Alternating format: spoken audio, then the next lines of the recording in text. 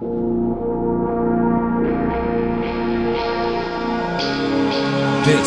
is Horror Podcast.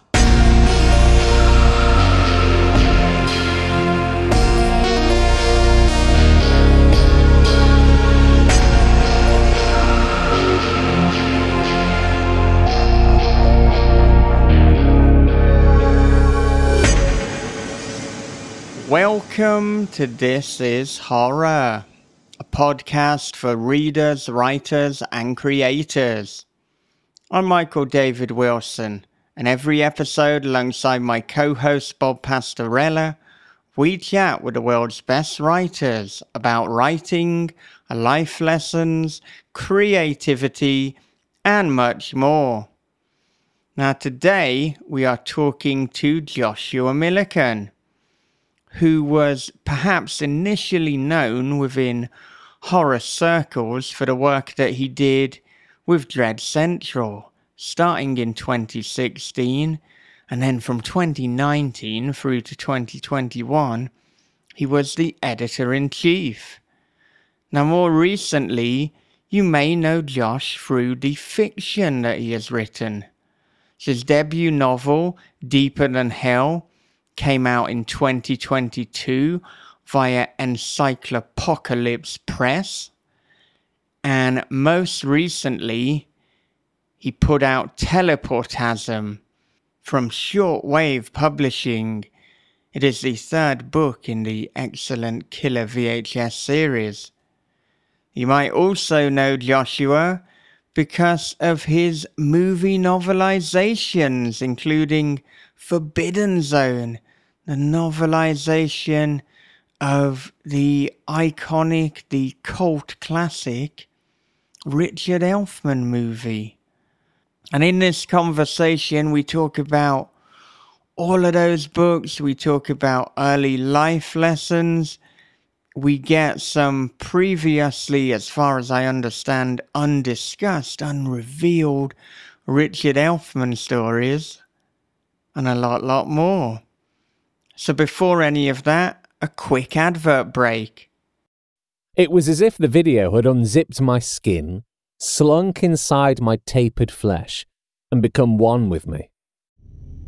From the creator of This Is Horror comes a new nightmare for the digital age The Girl in the Video by Michael David Wilson. After a teacher receives a weirdly arousing video, his life descends into paranoia and obsession. More videos follow, each containing information no stranger could possibly know, but who's sending them and what do they want? The answers may destroy everything and everyone he loves. The girl in the video is The Ring meets Fatal Attraction for the iPhone generation. Available now in paperback, ebook, and audio. From the host of This Is Horror podcast comes a dark thriller of obsession, paranoia, and voyeurism. After relocating to a small coastal town, Brian discovers a hole that gazes into his neighbor's bedroom. Every night she dances and he peeps. Same song, same time, same wild and mesmerizing dance. But soon Brian suspects he's not the only one watching, and she's not the only one being watched. Their watching is The Wicker Man meets Body Double with a splash of Suspiria. They're Watching by Michael David Wilson and Bob Pastorella is available from thisishorror.co.uk, Amazon, and wherever good books are sold. Okay, here it is. It is Joshua Millican on This is Horror. Josh, welcome to This is Horror. Thanks for having me, guys. It's a it's a real pleasure and an honor. Uh, you guys have all the really big names in indie horror and, and big names in horror. So, you know, I'm really humbled to have uh, made the roster. Oh, yeah, we are stoked to have you here. And we both recently finished reading Teleportasm, which is definitely going to form some of the discussion today. And I'm excited to talk about it. But before we do, I want to know about your early life lessons growing up. And they don't have to pertain to writing. They don't have to pertain to cannabis culture, as that is part of teleportasm, but they can if you want. Uh, yeah, my, my life lessons. Well, you know, in terms of creativity, I guess I just always knew that I wanted to be a writer in some way uh, from an early age junior high, even when I started journaling and things like that. And, you know, in terms of, you know, my creative aspirations, you know, I've, I've tried, um, you know, music, I've been in horror journalism, you know, uh, horror fiction is kind of a new, um, chapter in my life, no pun intended. Uh, got into horror, uh, writing horror fiction um, two or three years ago with the publication of my first novel. And I guess, uh, you know, my, my life lessons or my pearls of wisdom, uh, a lot of times you just got to go with the flow. Um, there's a lot of pressure these days to know exactly what you want to do and get to the pinnacle of, you know, whatever you uh, uh, define as success. But you know, if you just stay true to your your art and your inner voice, and you believe in yourself, um, a lot of times things will work out organically. Does that have anything to do with what you were asking? It it does, yeah. And right. I mean, in terms of writing stories, I mean, as you said, I guess in terms of people knowing you within the genre, they might know you before your fiction with Dread Central, but I want to know, you know, were you writing stories from an early age or were you more expressing yourself creatively through the bands? Where did the art start for you? Yeah, you know, thanks for asking because a lot of people have asked, like, oh, was it was it um, strange for you going from the world of journalism to you know the world of creative fiction? And it's actually not uh, I went to college at UC Santa Cruz, and it's one of the few state, it's one of the few colleges in America that offers creative writing as an undergraduate degree. So, um, you know, I, I studied creative writing in college, you know, doing workshops and more assignments and, you know, straining my brain in more ways than I could possibly imagine. So I actually come from a creative background. You know, I was a creative writer before I was a journalist. And, you know, I went from you know, writing stories and poetry to writing songs and lyrics for a while. And then when I got into journalism, I found that even though it was nonfiction and even though my my um, concentration had been on the creative side of writing, I also had a degree in uh, literature. So I knew how to look at a piece of, of art, a book, a play, a film, you know, and understand character arc and symbolism and uh, foreshadowing and themes and things like that. That you know, I found uh, you know when I when I became really immersed in in cinema, that I was able to take you know my same literature major brain and look at a film, and films became books for me for many many years, and in a lot of ways they still are. So I went from being creative into journalism and it scratched that same itch because I was writing all the time, which I loved. And I was celebrating an aspect of, you know, art that I really appreciated. I was uh, passionate about horror, the horror genre. So being able to write about something I was passionate about, if you're writing about something you're passionate about, you're always going to be writing your best work. So it was great. You know, um, you know, there are definitely journalists who, I think are, are much, have much more of a, a, profound profession. You know, people who are on the, the tip of the spear of, of history as it unfolds. You know, and, and horror horror journalism maybe isn't as noble as that, but I, I still felt like it was what I was doing was noble, in that I was elevating the films and uh, the the work of, of people, the countless people who who stand behind a, a director and the actors putting out these films, really celebrating their accomplishments and I just love doing that as a journalist. Now, here's the thing though, to bring it around full circle, the years I spent in journalism, maybe like 10 years, really shaped my creative writing in that the lessons I learned in journalism were cut the fat. You know, not only do you lead with a hook, every sentence should be a hook because you don't want to give your reader the slightest opportunity to switch channels or to click to another website or something. You really got to keep people engaged. And I think because of my years in journalism, my writing now is really razor sharp. Yeah, yeah, I hear what you're saying there. And I think for me, I mean, I started in journalism too before writing fiction. I was working for the extreme metal magazine Terrorizer, and then I was doing a lot nice. of. Yeah, yeah, man. and then I was doing a lot for Scream magazine as well in the UK. And Well, of course, This Is Horror was born from that passion. But I mean, I, I think like the creativity, it never really leaves you. If that's what you want to do, then you're going to be doing it. And I mean, I, I'm wondering what were the films or the stories that first attracted you to the horror genre or that kind of made you stand up and like, oh, oh shit, th- this is something we can do.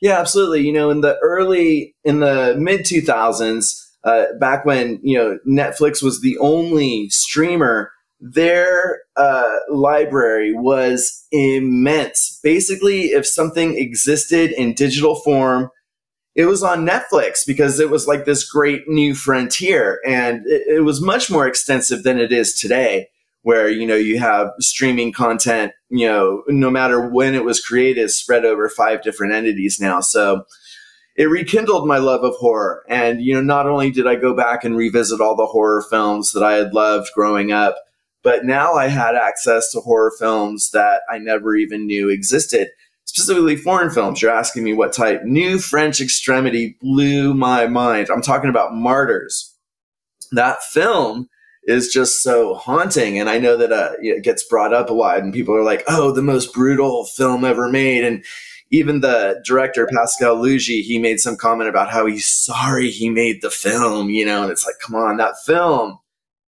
is just as transcendent as it is brutal. You know, it's just as insightful as it is extreme. And you know, a lot of the films from New French Extremity. Um, uh, Frontiers by uh, Xavier Xavier Gens and um, High Tension by Alexander Aja. There were a lot of just great films that uh, I just really resonated with me. Because, you know, here's the thing for I, I love horror movie and I understand that, you know, mainstream horror, a lot of times there's a happy ending. But for me, sad endings are much more effective. Um, you know, not that I want to be sad, but you know that's the feeling that really sticks with me and that's what sticks in my heart and sticks in my mind. And you know a lot of horror films the way they end and they end in a, a happy way it's really not realistic because for for an experience to truly be a horror experience it has to be transformative. You know even if you survive your night with the slasher or the ghost you know you make it out of the warehouse your life is never the same again. You know so even if it's happy because you live it's sad because of what you endured and because now you're changed forever. So I, I really loved bleak, uh, daring horror, just, you know, things that, uh, you know, just threw all of the sort of, um, mainstream and especially the American mainstream conventions to the wind. it was like, you have no right to expect a happy ending. So, you know, just, you know, take it, take it or leave it. And I was just blown away. Yeah, and we can see how that philosophy in terms of characters being transformed and not necessarily having you know where I'm going. I can see I from your reaction. You know, with, with what you've done with teleportasm, that is yeah, very literal and figurative in terms of the transformation. But I love because you've got so many different characters, it's like there are numerous endings. It, it's not as linear as saying, "Well, this is the the end of the story." And it's like, well, which story within the story? What are you talking about here? Right, right. If I sold the movie rights, you could, you know, make a film about the the four main characters. Or you could make a whole film just about chapter nine, you know, welcome chapter to Death World. So yeah, you know, there are stories within there. And it's interesting too, because, you know, for the sake of of you know brevity and continuity and and you know overall quality there are actually like three or four full chapters edited chapters that uh, we just put aside. So there are other teleportasm stories out there that maybe someday we'll release as a chapbook or uh, release chapters in a magazine or something. But yeah it, it was great the way i was able to not just tell a story you know give an emotional three act story to to these four main characters, but you know, also I, I was able to just throw so much against the wall uh, that I, I, was able to you know really play in a, a, an entire universe as opposed to just a world. Mm-hmm. It had that, uh, like I said in my tweet yesterday, that it had this World War Z kind of, of, of aesthetic to it because you you had you had all these stories about the same thing, and and I love that kind of stuff because you get you get these complete tales that that just they add to the whole, and it was as soon as I realized that I was I was like, oh man, this is this is my jam right here, you know, uh, because well, I like those. It's not really it. like an what's that? I'm sorry. I was I'm sorry. I was just saying so glad you liked it, man. Really appreciate oh, that. Yeah, no problem, no problem, man. It was a great book, but the uh, that uh, it's not really epistolary. I can't never say that word, but you know what I mean. Uh, yeah, it, it's, it's more like episodic anthology. Yeah, it's like a pseudo anthology uh, because you know there are chapters that seem to stand alone, but they really don't because they're informed by the chapters before them, and things that seem random are later revealed to all have been you know connected. Uh, you know, part of the the completed puzzle. Mm-hmm. So yeah, it, it, was a it was a really interesting way to write for sure. Oh yeah, it had a very uh, mosaic what they call mosaic novel effect, and I thought that was just really really cool. You did it. You knocked it out of the park with that. Oh, thank you. I think it's similar to how the Martian Chronicles was uh, written. Mm-hmm. You know, mm-hmm. each chapter is kind yes. of a standalone, and you kind of uh, see the big picture when you kind of know all of the perspectives by the end. You know, um, so yeah, it, it's a pseudo anthology. Um, you know, and yeah, I guess that's how I describe it. It's a novella, a pseudo anthology you can edit this out because now I'm kind of rambling. We should do a drinking game of how many times I say, What were we just talking about? or something along those lines. No, I, I think what you're saying is all relevant. And I mean, we weren't planning on jumping into tele- teleportasm so, you know, early into the conversation. But now that we've hinted at it, we, we got to do it. So it. let, let's just begin with I mean, the origin story. Where did this idea come from? Yeah, um, you know, it's crazy because teleportasm is about 30,000 words, but I, I, kid you not, I probably wrote 100,000 words to get to these 30,000 words. And the original idea was much darker, um, but it still had to do with a friendship. There was like a friend trying to rescue a friend from a technology cult you know, the way I first pitched it, it was like Hellraiser by way of the Philadelphia experiment, where this VHS tape was going to be kind of like the lament configuration and open portals.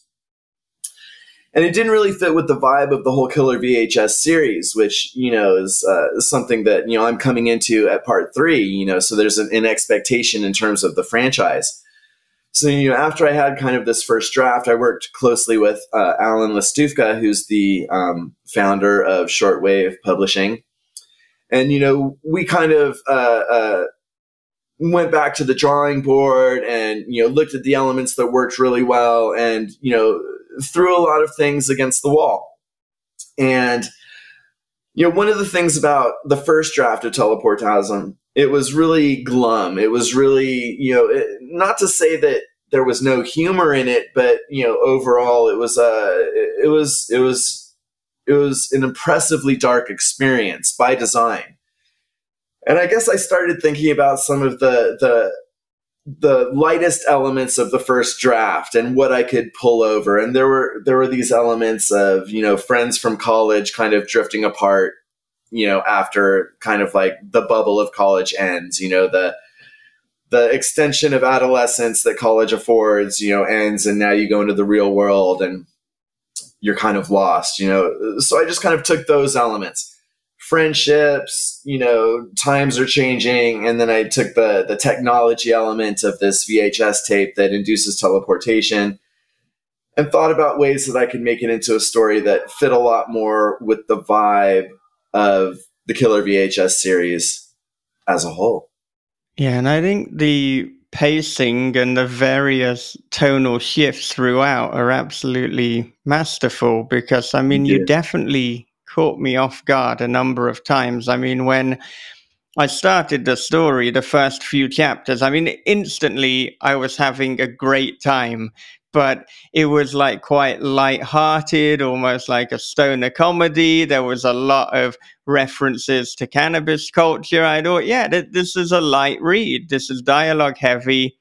I love it. But then you just ratcheted up the violence and the things that were happening as a result of viewing this tape. And actually, I listened to a conversation with you and Rob Olson on the Ark Party. Great guy. And you were talking about, yeah, yeah, we, we love Rob at This Is Horror. He's been on the show and we've collaborated with him a, a Awesome. number of times. But you kept referencing chapter nine and you, you were doing it before I had read all of the book. And then when I came to chapter eight, I thought, did you two say the wrong chapter? Because chapter eight is very, very violent in a way that the chapters that followed before that they hinted at it, but you you took it up to eleven. And then I got to chapter nine. It's like, oh, oh yeah, you, you got the chapter right. I mean, it's, it, Yeah. yeah, because it is a tonal shift. It's bleak. It reminded me of Stephen King's The Stand in some ways. You know that that chapter alone. referenced. Uh, Stephen King's The Stand is actually referenced in one of the notes that Snaps leaves along Yeah. the way. But uh, yeah, you're right. You know, um, in, in terms of you know chapter eight going all the way up to eleven, you know what I was trying to do for the most part was kind of like up the ante with each chapter, right? So we start with what's kind of like already in the mythology of teleportation, which is getting stuck in walls. You know, so okay, you know, you're stuck in a wall, you know, where do you go from there? And I was trying to like, you know, each time make it a little more horrific or a little more outlandish. So yeah, by the time I get to chapter eight, it's kind of like I, I really got to go nuts to really like you know give a payoff that is worth you know the fact that I've set this scenario, a similar scenario, three or four times by now. You know, so. But with chapter nine, uh, it's the tonal shift. You know, chapter eight, you know, might very well be um, sort of like the uh, the graphic climax. Although you know, chapter twelve is is pretty gory, as is chapter all of them. But a- anyway, but with chapter nine, yeah, I definitely wanted to do a tonal shift, kind of have this, you know, rug pulled out from you, your stomach drops, you know, you're in an airplane that, you know, suddenly drops or something like that. And even though it, does go back to sort of the light dialogue, I feel like the tone is bleaker from there on out.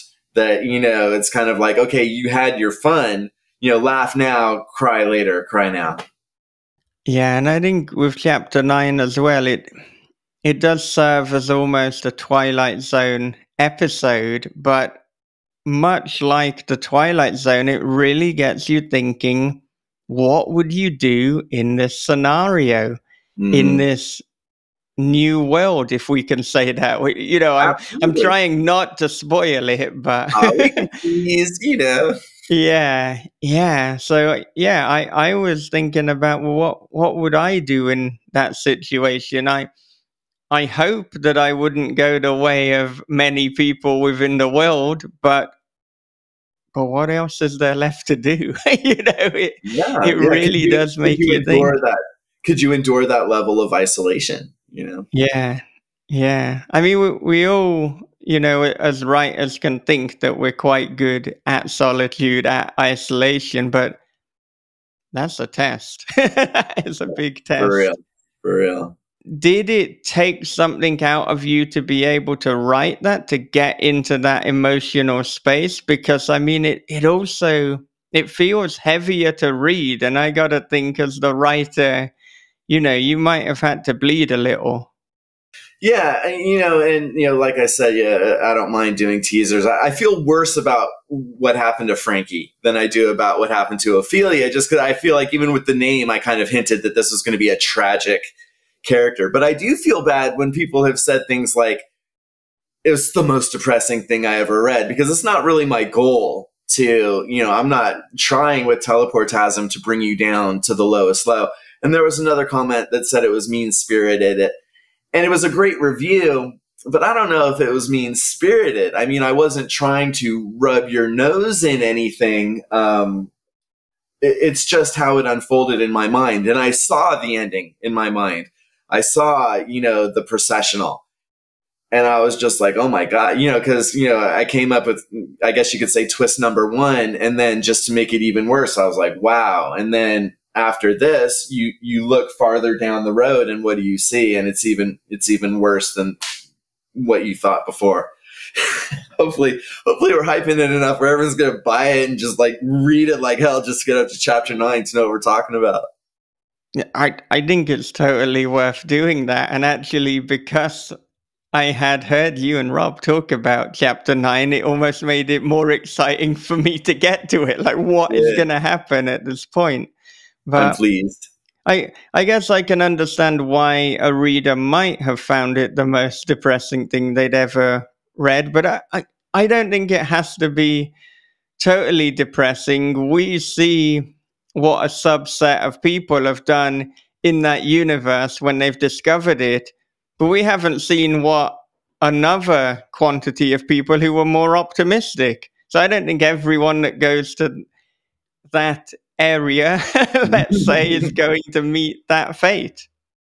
Yeah, that that's another thing that's great about it. You know, any work of art is, you know, I'm proud that I created something that kind of lives on in the reader's imagination and allows you to take it to uh, whatever other steps uh, you want to think about.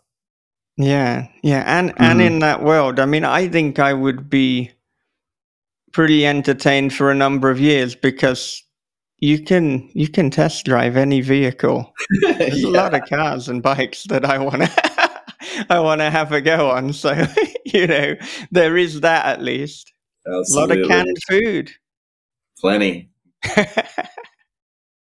What what I liked about it was it was you you had you had this ramp up, and then you get to this this like apocalyptic vision and and being it the story is told non you know non-linearly non man I can't even talk tonight. It might be the flat tire, uh, but flat from just over Zoom. but uh, it, it and it also shifts in time. But I think that that actually sets you up for the dystopia part of it that comes after that with the cult and everything. Uh, it had a very uh, J.G. Ballard uh, effect to you know if if to me if someone was filming this movie uh, it would probably be probably to me the best director would be Brandon Cronenberg because he can bring in this this that kind of aesthetic and still do with the goopy you know body effects just like his dad could and I you know and I'm thinking David could do a good job but I think Brandon kind of gets the the the cult aspect of things a lot better yeah, I think and Brandon and I are more of the same generation, but you know, the father son Cronenbergs are were definitely influences on teleportasm. You know, each each entry in the Killer VHS series uh, kind of has its own subgenre. The first one, Melonhead Mayhem, is like a creature feature, uh, you know, specifically of the homunculi variety, you know, gremlins or ghoulies or critters. And then you mm. have hmm. the second one, which was Candy Cane Kills, which is a Christmas slasher, you know, very popular subgenre of horror. With teleportasm, you get analog body horror. And, you know, as soon as I say analog body horror, you're thinking of David Cronenberg. Right. But it also, it, I saw also this kind of, uh, I guess this, um, you know, with the way that they became kind of like mindless zombies, I've seen this Prince of Darkness John Carpenter aspect to it too. And I was like, this is this is fucking so cool, man. And I, I think that you have to pull, you have to have you have to go through that apocalyptic section to to to be to to be kind of uplifted a little bit, but then go, oh wait, this is even fucking worse. You know, it's like how how we got here is even fucking worse than that. That's that's the way I felt because I would I would not want to be alive during the latter part of the actual story right. where you, you're, you're having to, to, to run for your life against a, a mob of uh, mutants, creatures. basically. Yeah, yeah, yeah, creatures, creatures, yeah, yeah. And so, I mean, tonally, it almost reminded me of Keith Rosson's Fever House in the sense that it's like you're just switching up genres and introducing new elements at any given moment. Like there's no predictability, but like in a really good and a really fun way. And just because there was no predictability, it all was logical. It all was consistent. It was just so intricately woven. And of course, another way, another choice that you made was to not tell it necessarily in chronological order. So, was that always the way that you envisaged telling the story, or did you kind of have to weave it together and kind of change uh, chapters about in terms of the ordering? Well, yeah, I like that I, you know, was popping ahead in the future. But if if you notice, by the third act, it does start to line up chronologically. So yeah, it does jump into the future a few times. But by the time you get to, I think, Welcome to Dead World, everything after that is chronological. Uh, because the, you know, kind of like the story of the, you know, the night uh, has already been told.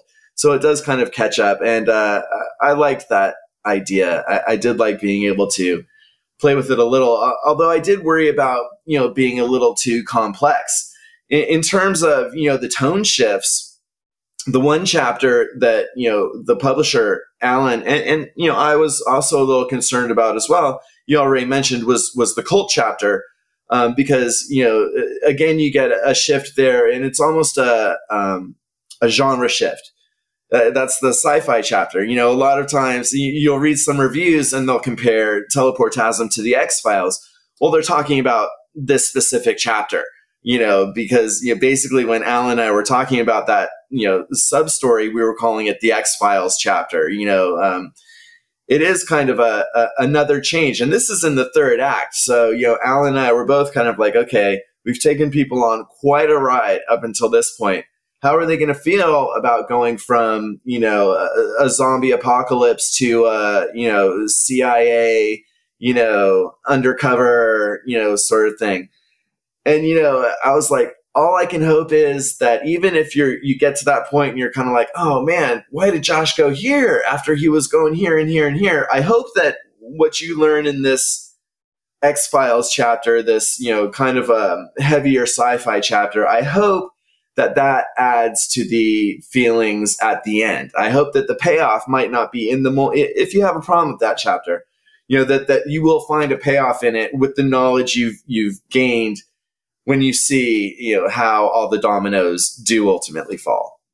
Yeah, I felt that at that point that any chapter could be kind of anything goes. I, I was already at that point, I'm already on the ride and it's just going to take me where it takes me. But yeah, there were a lot of times where I was thinking, how the hell are you going to wrap all this up and make it consistent? But then you did. And I see what you mean about you know enjoying sad endings it's not it's not exactly a feel good end to it but I, I think you know that it's not exactly going to be a happy ending. I mean, it, it's not happy 50% in. So, you know, how could it be? There you go. There you go. It's not like I pulled the rug out of him, out from under you in that regard, at least. Yeah. Yeah. It's, it's bleak. Yeah. It's bleak from the beginning. But I mean, one of the more comedic chapters, I think, was chapter four, which is Boys in the Wood. And so immediately I'm obviously thinking of Boys in the Hood. And then when I found out about a certain something, it's like, oh, Hood. Oh, okay. I see what you did there. You see what I did there? yeah, yeah. But I mean, was there ever a kind of concern in terms of trying to get the balance between, I suppose, comedy and horror within the piece as a whole? Absolutely you know, because you know, especially in the writing stage, you know, you're, when you're just you know throwing everything against the wall, it, there were there were much more extreme, or not maybe not much more extreme, but there there were definitely things that Alan was kind of like. Remember, we're trying to, you know, appeal to a, a wider audience. Hint, hint. You know, and there were things in that chapter that were a lot more extreme both in terms of the conversation that these kids are having you know, I don't think it's a, a spoiler to tell people that we're we're talking about a chapter uh, that takes place with these uh, uh, kids in junior high, and uh, they're talking about female anatomy and their lack of understanding of it. And it's it's cute because it's kind of innocent, but it's also kind of like super bad. And uh, you know, I, I, I absolutely did just take it to ridiculous extremes. Not just in chapter four, but there were other chapters where Alan was kind of like, uh, uh, okay, we see that you can gross us out. Yeah, yeah. You're hardcore. Come on, buddy. Let's dial it back a couple notches. But you know, uh, you know, ultimately, I'm glad. I'm glad I had someone there reminding me to strike a balance because I don't think uh, I made anything less horrific by making it, um, you know, uh, easier to read.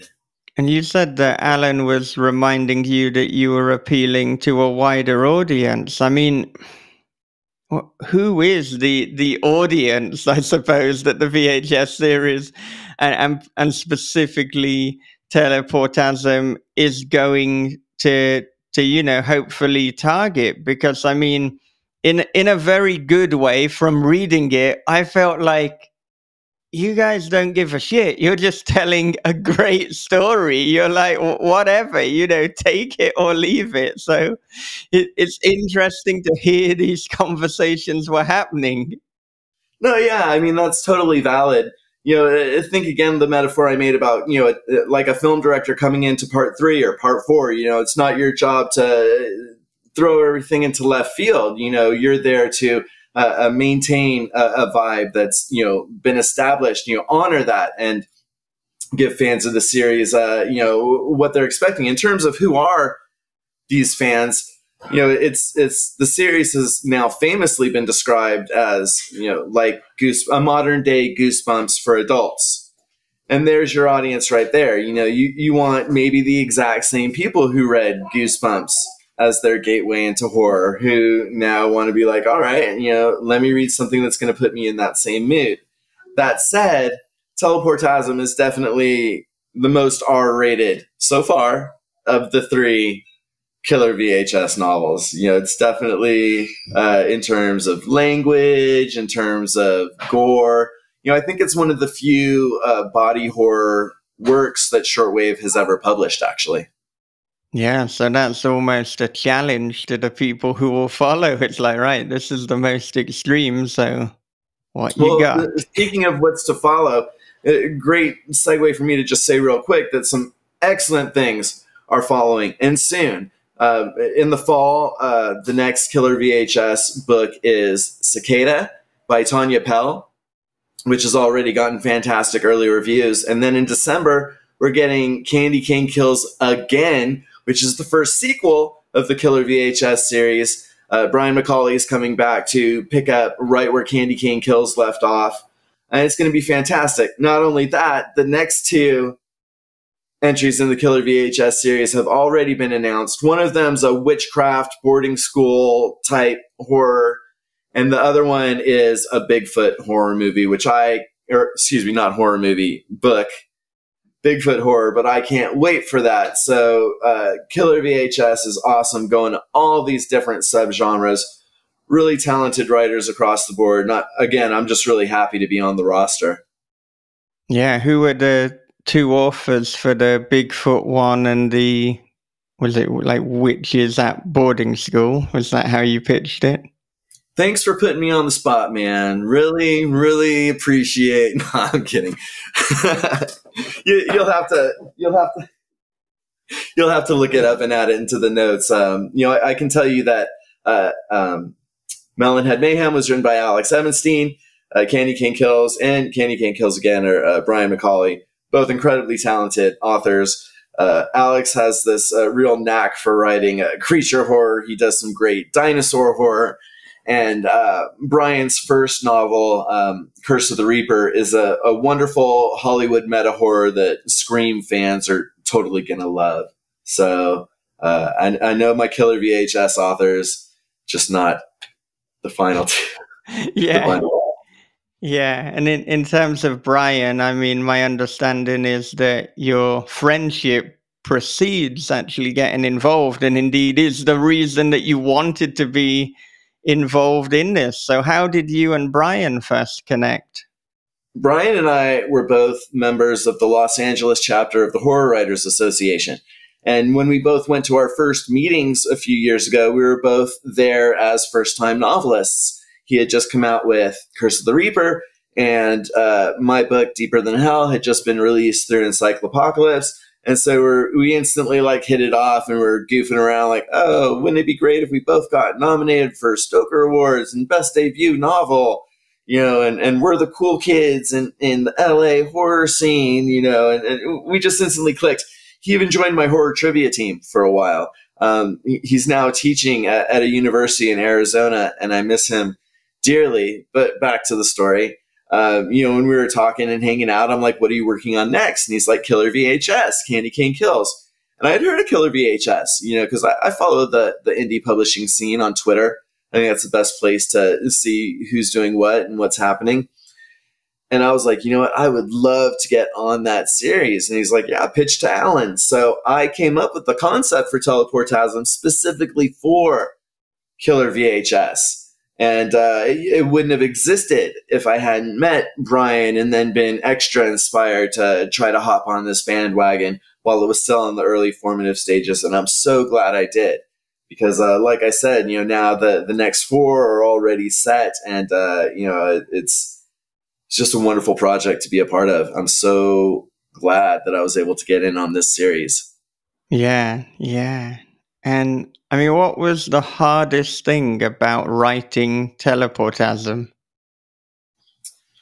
I mean, the hardest thing was also one of the most enjoyable things. You know, normally, you know, a writer writes in solitude. It's, it's a very solitary process. But because this is part of a series, uh, Alan and I decided that we would work you know uh, have a closer relationship than most uh, writers and their publishers would have and you know after i turned in my first manuscript and you know got the feedback that you know tonally it, it wasn't really a match for what had preceded it you know maybe i was i was disappointed for about 30 seconds but then i was i was really inspired by the challenge of revisiting this first draft manuscript and really making alan happy because i believed in alan's vision. So in that sense, uh, I was writing for an audience of one because Alan was the architect. Alan had set the tone. Alan had the vision for what was to precede it, uh, and I believed in him. So there was a lot of you know this is working, this isn't working. I was sharing things with him much earlier than I had with my previous publishers. Like normally, I wouldn't share something in a, a rough stage, but I I really wanted to ask Alan his opinion on things before I proceeded in one direction or another.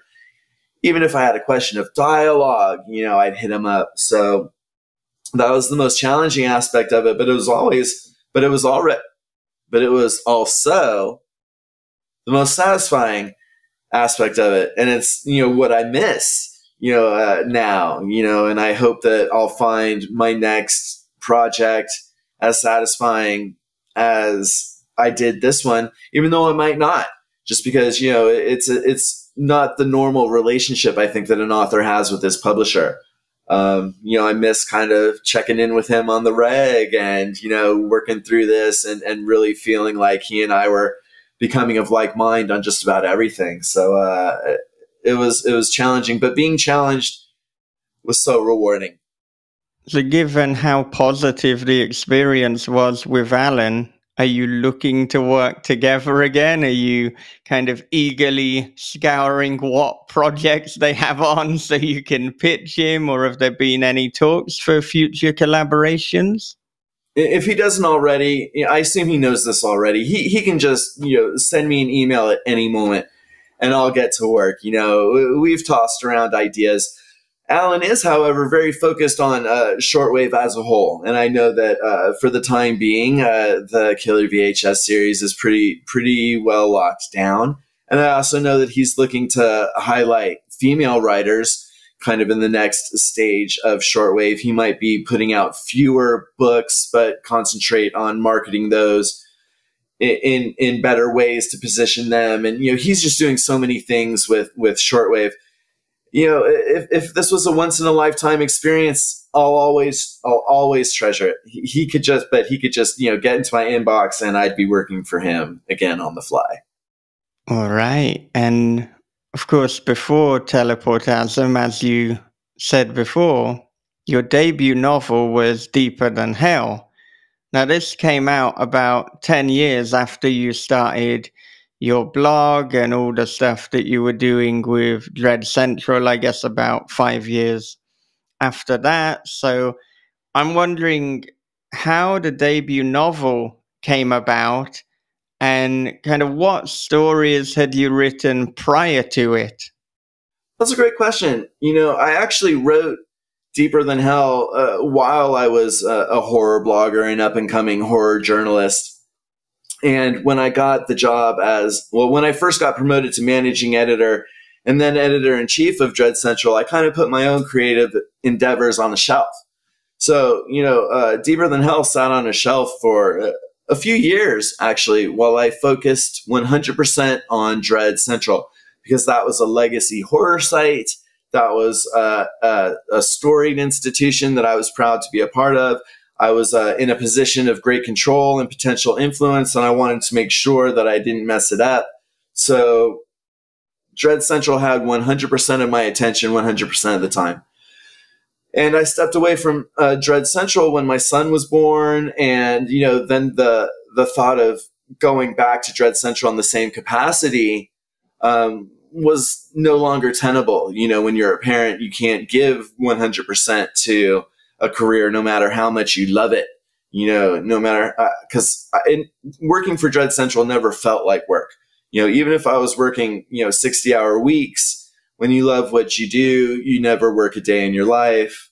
So, you know, it was awesome, but I wasn't going to have that time commitment anymore or the desire to be glued to my computer following horror news as it unfolded, you know, keeping up with the trades, things like that. So it was going to be time for me to transition. So that's when I took Deeper Than Hell off the shelf, dusted it off.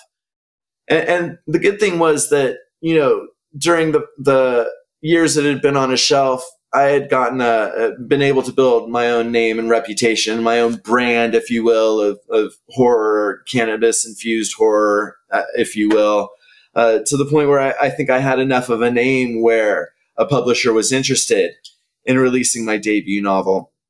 And what a perfect connection it was to meet the guys in Encyclopocalypse because they have one foot in literature and one foot in film.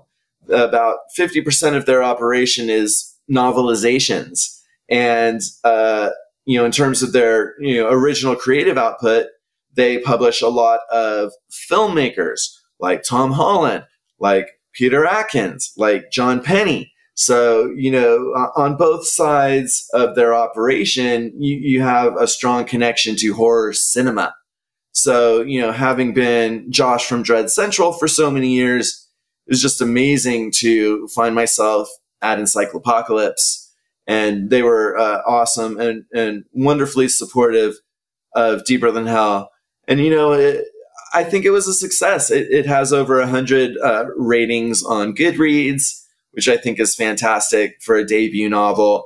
And I think that um, you know more people will be reading it now that Teleportasm uh, seems to be bringing more attention to to my other works and uh, I'm really I'm really proud of it, and uh, I'm glad that I made this shift to um, writing fiction, writing books. I think you know in my heart it's something I dreamed of as a kid. You know, uh, having my books and signing books and things like that. So it's it's a real dream come true, and I hope that I can do it for the rest of my life. Yeah, I hope you can too. I mean, both for you and selfishly, because I enjoyed the hell out of reading your stories. So I want there to be much more of it. But, you. you know, I think what you're saying about now that teleportasm has come out that Deeper Than Hell will get more attention, it's 100% right. And, you know, sometimes I see writers getting upset about you know the, the, attention or lack of attention that an individual book got. But it's like but it, this is just a part of the puzzle. It's like it only takes one to really blow up and then your entire back catalog is getting attention.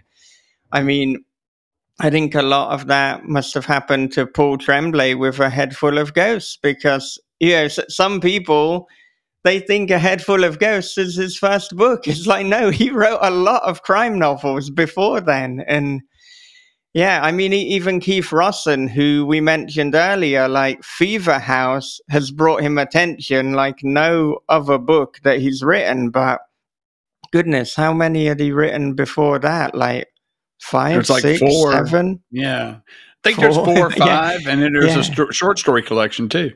Yeah, yeah, and he, he's he's been in this game for a long, long time. So Well, Yeah, books are the- different than films as well. You know, it's like if you miss your opening weekend, uh, you know, if your opening weekend doesn't hit like you hope, that's it. You know, and, and the whole history of the film is written down to its, you know, eventual release and distribution and everything like that. And that's kind of it. It's left for history aside from that point onward. It's not the same with books. They can hit, you know, a few months later, they can hit a few years later. yeah, yeah, and in in terms of the marketing and the promotion, both in terms of getting your name out there as a writer and indeed promoting individual books, what kind of things are you doing? Well, I mean the the Killer VHS series pretty much promotes itself, you know, because you know you can buy it from Amazon and it'll come in an envelope, right? But you order it directly from uh, Shortwave, and it comes in this box that looks like an old school VHS tape with the synopsis on the back and everything, you know. And, and the book looks great. The cover art by Mark Volchik is is just amazing. And then you've got this box left over that you can hide your weed in and your cartridges, and then you know you just put it on a shelf and uh, order the next Killer VHS book. There you go. Well, you, you just immediately sold a lot more. It's like you, you hide your drugs in it. There you go. I, I joke, but you know, it, Alan really is a, a great uh, at what he does. He's an, an amazing designer. Um, his his marketing skills are, are top notch. So yeah, um, you know, we got it to as many um, book talkers and grammars and tubers as we could, and um, you know, hopefully, hopefully the buzz is is still building. Um, but but another great aspect of the Killer VHS series is you know each new release brings attention to every installment that came before it, and this is really yeah. a great year for Killer VHS. You know, Teleportasm just hit, and you've got two more to look forward to before 2025. So get on it. Yeah, yeah. I think this conversation might have helped us source our horror Christmas episode as well. You know, I didn't know that there was going to be a sequel to Brian's book, so there you go. There Yeah, you it's go. already There already in uh, already on the charts. Yeah, Nice. yeah. But in terms of cannabis culture, I mean, what do you think are some of the misconceptions? And I mean, if you could indulge us a little bit in terms of like different strains for different moods, whether it's like creativity, whether it's relaxing, you know, talk us through it. I'm really glad you asked because you know um, the the cannabis consumer stereotype has basically been set in stone since Cheech and Chong came on the scene, and I love Cheech and Chong, and they are funny as hell, and they really portray a certain aspect of cannabis smoking to a T. I love those guys, but they really did um, cannabis a disservice in that respect because before Cheech and Chong, you know, the the stereotypical cannabis smoker was a um, a rebel rouser, a college student, you know, you know, leading a, a protest march, you know, against the war. A cannabis smoker was a beatnik poet.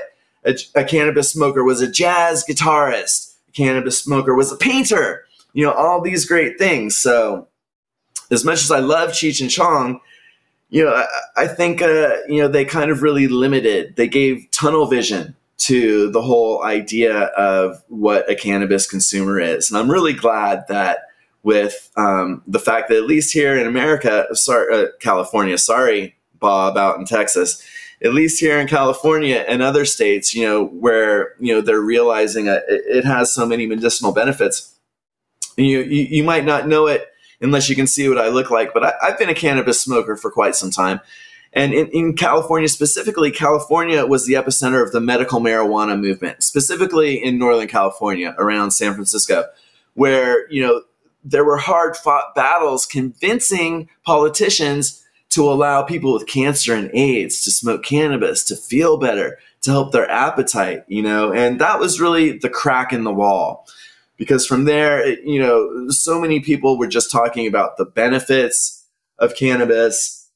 You know, not everyone is this Cheech and or Chong who just wants to smoke and do nothing and who's just kind of a drain on society. Or to be fair, a, a jazz playing rabble rouser either. You know, ordinary people are enjoying cannabis, which goes back to what you were saying about which strain for what Cannabis is humongous. Cannabis is almost as big as horror. Let me take the metaphor a, a step further.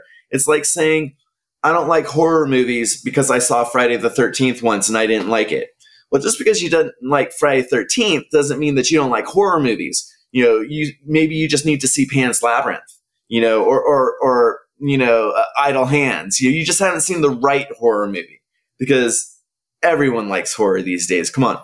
Same thing with cannabis. Oh, I smoked cannabis once and, and I had a, a panic attack. You smoked the wrong strain. You smoked a heavy strain of indica when you should have smoked a light strain of sativa. It's basically, you know, one or the other in terms of what do you smoke. Indica is where you're going to get a body high. You're going to feel it, uh, you know, in your internal organs. You're going to feel it in your fingertips and your toes, maybe even in your teeth. And it scares some people uh, sativa, you might not even know you smoked anything. You're just going to all of a sudden be uh, having this great conversation or having these great ideas or getting, you know, uh, calling someone you haven't talked to in a long time. So, cannabis is humongous. And I'm sorry uh, in Texas that, you know, uh, they're just less um, um, progressive at this time. And, you know, I don't know what it's like for you, Michael, out in Japan. I imagine it's also uh, quite taboo down there. Yeah. But, uh, yeah, I forget. unfortunately so. Yeah. I, am so entrenched in cannabis culture that I forget it's not legal other places. I went to South by Southwest a few years ago before the pandemic, and I have friends in Austin, so they hooked me up. And then, you know, I'm walking around and it's like this total festival atmosphere, you know, with all the bands playing and the events happening. So I reach in my backpack, I pull out my weed, I start smoking. My friends are like, What are you doing, Josh? you can't do that. And it's like, oh yeah, I'm not in California anymore. You know, I'm in I'm in Texas. There are different rules here.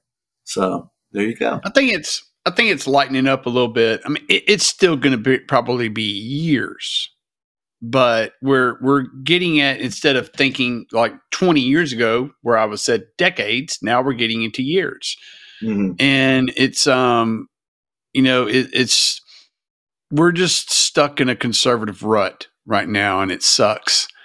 And uh, there's a lot more I could say on that, but I'm gonna be a nice guy tonight. And there you go. Not, uh, I'll not say it for you. I'll say it for yeah. you. They can all send their hate mail to me. They they can call me a stoner. I can deal with it. Ironically, though, you know, one of Tommy Chong's, uh, I don't know if it's his most recent role, but he had a great part in Color Out of Space uh, not too long ago, where he played yes. kind of like this mystic and I thought it was a, a really great way to kind of bring the stoner stereotype to another level. Because I think you're finding now a lot of these old hippie dudes who have been smoking weed for, you know, 50 years, they really do kind of have some sort of connection to the natural order of things to balance you know, and, and, then, you know, you can bring uh, cannabis and cannabis culture. You can remind people of the, the shamanistic roots of not only uh, cannabis inhalation, but other plants and things like that. And it all becomes very fascinating. And I, I think it is a, a source of, uh, if, if not wisdom, at least genuine knowledge. Yeah, and you're absolutely right that, you know, initially cannabis culture, cannabis smoking was very much associated with the jazz musicians, with the beat poets, with people like Allen Ginsberg and William Burroughs. And then yeah, th- there was somewhat of a dip with the stoner stereotype. But I do feel that it is now kind of coming full circle, and and not just with cannabis, but I think perhaps some time ago there was ignorance that it's like oh all, all drugs are the same, and it's like no, no, they ain't. That is why there are different classifications you know, if you smoke a joint or you inject up uh, some strong heroin, you're going to have a bit of a different effect there. And so. I don't know if you know, um, you know, uh, having not been, you know, born and raised in America, but it actually was in the same category as crack cocaine and heroin until very recently. The FDA, you know, which can, mm, sets these standards in America, absolutely was telling everyone until very, very recently, I think maybe even 2024, it remained in the exact same category as heroin and crack cocaine. Uh, okay. Yes, so that just that, changed. I I am hearing this for the first time, and I can't believe that nobody's told me that. Because in in the UK, you, you know, even from my childhood, it like heroin was class A, marijuana was class C. I did not know that yeah. in America they were both class A. What? It's ridiculous, and I think that's why you know there's such an uh, uh, an era, an aura of distrust between a lot of cannabis users and the government because you know you can't tell a cannabis user that that they're doing something to their body that's as bad as shooting smack. You just can't do that. And you can't say that, you know, you can't tell a cannabis user that they're addicted, that they're just as bad as somebody who's given their life to crack cocaine. It's like telling me that the sky is, is purple, you know, when it's clearly blue and it's just nuts. But yeah, can you believe it that until just recently, even though even though that it's been legalized in some states, and even though you've got you know Sanjay Gupta on CNN talking about the benefits of cannabis and how he's changed his uh, official stance, it still was technically on the federal level mm-hmm. the same kind of drug as heroin until very very recently. Yeah, and the. it reminds me of something that was said probably, and I can't remember if it was either George Carlin or Bill Hicks who said it, and I believe it was Bill Hicks, is that the two most dangerous drugs in the world are tobacco and alcohol. Hands and, down. And, and if you can buy them, and the reason that you can buy them is because they can fucking tax it. He goes, as soon as they figure out a way to tax marijuana it will be legal. They have, Bob, and that's why. Yeah, it's, a, that, it's a states' rights thing. That's what it right. comes up to. It's, it's based when on the states. Saw, when everyone saw that Calif- Colorado raised billions with a B for their roads, for their schools, for their infrastructure off a cannabis tax, billions that simply would not have existed. That, exactly. that would have just been part of a, a black a black market that would have been happening anyway of course, other states are jumping on it now. And it's funny. It's like states, unfortunately, like Texas, they're really just being obstinate about it at this point. You know, oh, we still have ignorant fucks who's like, well, people have OD'd on marijuana. I've seen it on TV. they they OD'd and died on the marijuana. The boy sure. jumped off a whole building. I was like, you think he died because he might have jumped off the fucking building? Yeah, I don't yeah. think he might have had some issues, and it's really sad. But I don't think marijuana killed him because no one's ever died from marijuana. Yeah. Sorry. you know. And you know, just bringing it back to teleportasm, you know, that was kind of like the idea of, you know, taking it from something kind of uh, benign like marijuana to something, you know, more extreme and possibly dangerous. Because there absolutely is a, an addiction metaphor to teleportasm. Um, that kind of like is is born out of this, you know, cannabis cannabis culture community. Mm-hmm. Um, yeah, and it had. It, I don't know. I guess it kind of rang of that. The you know they they don't want to legalize it because it's a gateway. Right, and it's a gateway to, to getting to getting high. So, and it, there is that metaphor going through, you know, teleportasm that you know, hey, this is the gateway. But I also I also see in it sarcastically, and I'm stealing from another comic, but I think that that marijuana, cannabis, is a gateway to like pizza. Uh, it doesn't. It's not. It's not gonna. It's not gonna be a gateway to another drug. It's a gateway to fuck them. I'm fucking. I got man. I gotta need to eat something, man. I like that. I'm very, very relaxed and I'd like a pizza right now. You know. Yeah. So everything we're talking about here, it reminded me of the case in the UK about what, 15 years or so ago now, with Professor David Nutt, who was the government's chief drug advisor and he was commissioned to write a paper on how dangerous each drug is. And then they fired him because he claimed that ecstasy and LSD and cannabis and many other illegal drugs were less dangerous than alcohol. They fired him because he came up with the conclusion that they didn't want. I don't doubt it. Yeah. but yeah, in in Japan, I mean, yeah, the, there's a very ignorant and a very kind of all drugs are bad attitude, kind of similar to the put cannabis in the class A as they did in America. I I still can't believe that that happened, and I also can't believe how have I just found out in 2024? How have I lived my life without knowing that it was not, in fact, a class C? But I, I think that I mean J- Japan, yeah, it's a lot slower than the West, but um, Well, I mean, uh, the- and the- in the Philippines, cannabis users are are being uh, given capital punishment. yeah, I mean, it's it's absolutely wild. Yeah, but in in Mhm. Japan, I mean, there's certain CBD oils that are now legally allowed to be sold. So that gives me hope that it's like, okay, it's a small step, but it's a step in the right direction. Hopefully, Definitely. they, they can take enough steps where it's legal before I'm dead. But I honestly don't know if that I will hope, man. actually happen, to be honest. I won't be putting any bets on that. Speaking of uh, CBD oil, I'm enjoying a little as we speak. Helps keep my uh, my neurons firing. Yeah, yeah, and the, the thing is as well. I mean, I I am predisposed to arthritis, and I kind of keep it in check through dietary means. But if they could make, you know, more CBD available, so there was more variety, and they could make it more affordable, because unfortunately, the stuff that is available is very, very expensive and not as effective, then it would make a genuine difference on my life and would help with chronic pain.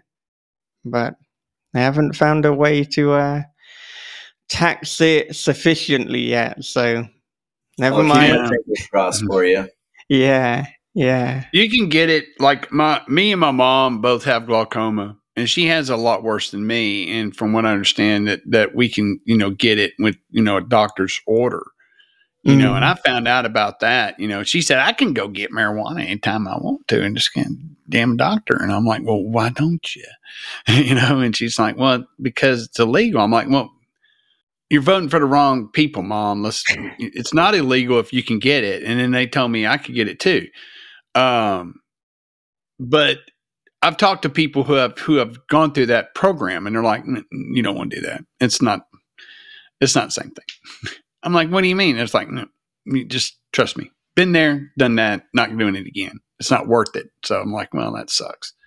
Well, there's the So I guess. I guess it's like it's it's like marijuana from the government. Here you go. Yeah. Well, you know, th- th- those were concerns, you know, like I said, you know, having seen the medical marijuana movement from the very beginning, people were worried that, you know, uh, asking a doctor for a medical marijuana prescription meant that you were going to end up on a government list, you know, and, and that's a genuine fear. So it's so much easier to just legalize it, especially in light of the fact that there's all this compelling evidence that it's wonderful for chronic pain and creativity and uh, it's a very versatile versatile product Yeah, I think what he was getting at was that the amount that you receive and the the quality of the product was not what you would expect. hmm interesting So I was like, okay. I said, well, I know they have, you know, like you were talking about different strains of marijuana, but I didn't know. He says, well, he says that's it's it's pretty bunk, you know. So I'm like, in california Mhm. when you go to your uh, uh, dispensary and you look at the product they have it tells you what percentage of thc is in your flour or your oil or your edible so Mhm. you know what's in there i mean they've figured it out you know uh, they can measure these things and if you want something strong you get something that's 28 to 33% THC. If you want something mild, you have something that's uh, 11 to 23% THC. So, you know, I, I don't know how they're running things in Texas, but come on, come on out to California because you don't even need a card or anything. You just have to be over 21. And uh, yeah, no, no need to go all the way to Amsterdam any longer. yeah, a point that I was going to make about 10 minutes ago because we completely segued into different directions and I also forgot. My point was that, like, I think as well, I have hope for there being general acceptance because there's also like a massive movement of people getting into psilocybin and mm-hmm. hallucinogenics and just looking at how that can expand both creativity and almost kind of consciousness and understanding of the world. People not just using it creatively, but to help unpack trauma. So I, I think that movement is is showing at least this shift that at the very least people do not any longer think all drugs are created equally, which which is as absurd as saying all alcohol is created equally. It's like, well, yeah. Or all horror books are created equally. Exactly. Yeah. Yeah.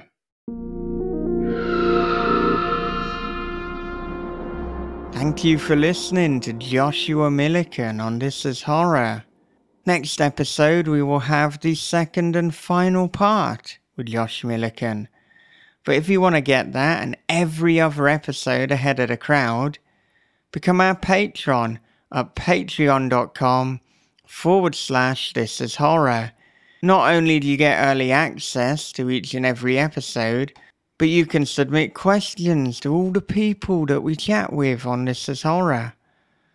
Got a lot of great ones coming up. Very soon we'll be talking to Sandy King Carpenter of Storm King Comics also the wife of John Carpenter. So a lot of excellent comic collaborations from Storm Kings. We'll also have Jason Pargin returning to the show soon. We will be talking to Nat Cassidy, LP Hernandez. Next year, we're looking to have a conversation with Ali Milinenko, whose name I hope I have pronounced right, but Sometimes I don't, so apologies if I've got that one wrong. It's a lot of great episodes coming up, and a lot of good reasons to be a patron. So head to patreon.com forward slash this is horror, and if it's a good fit for you, I would love to see you there. Okay, before I wrap up, a quick advert break. From the host of This Is Horror podcast comes a dark thriller of obsession, paranoia, and voyeurism. After relocating to a small coastal town, Brian discovers a hole that gazes into his neighbor's bedroom. Every night she dances and he peeps. Same song, same time, same wild and mesmerizing dance. But soon Brian suspects he's not the only one watching, and she's not the only one being watched.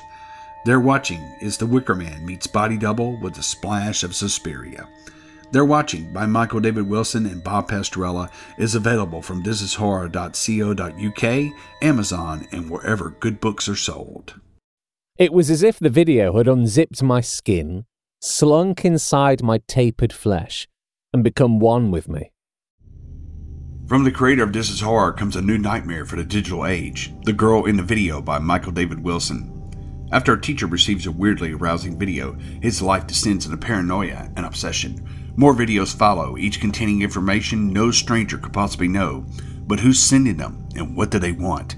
The answers may destroy everything and everyone he loves. The girl in the video is The Ring meets Fatal Attraction for the iPhone generation. Available now in paperback, ebook, and audio. Another way you can support the podcast is to leave a review on Apple Podcast. We got a recent one on the US store from Mandarin AB, which I read out last episode. But we always welcome more. We love your feedback. We like hearing what your favorite episodes are, what you like about This is Horror, perhaps what you don't like, who you want to hear on the show in the future. So if you do have the time, leave us a review. drop us a few stars on Apple Podcast and we'd really appreciate it. Well, that about does it for another episode of This is Horror. I'll see you next time for part two with Joshua Millican.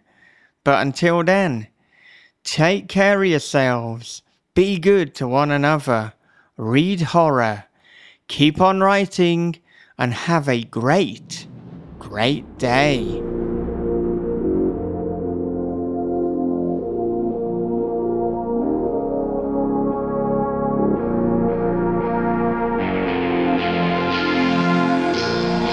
This is Horror Podcast.